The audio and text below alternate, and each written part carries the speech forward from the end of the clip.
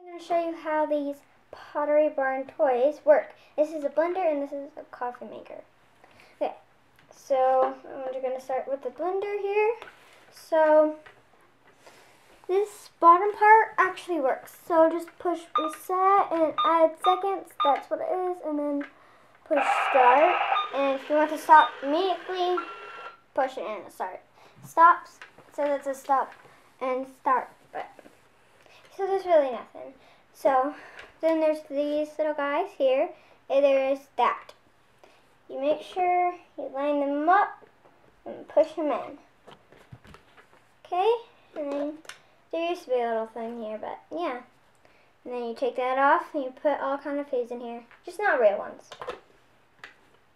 Okay, now the coffee maker here. Let's move that back. Okay, so this coffee maker is awesome. I really do like it. Okay, so what it is, it takes real water.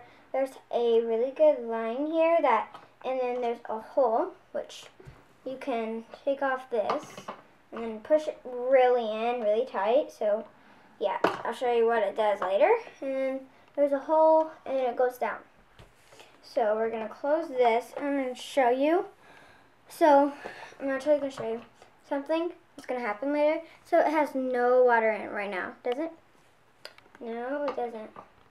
So we're going to snap it, close it, and then here's a heating little thing. I'm going to try to do this without pouring anything. And then you push it and it heats.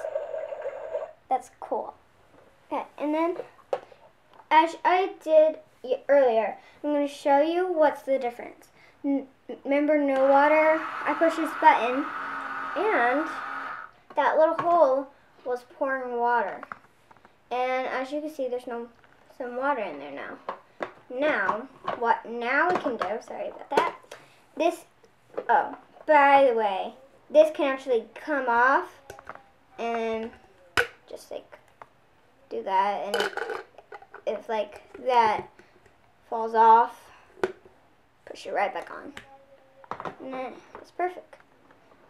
Sometimes you can use that for water.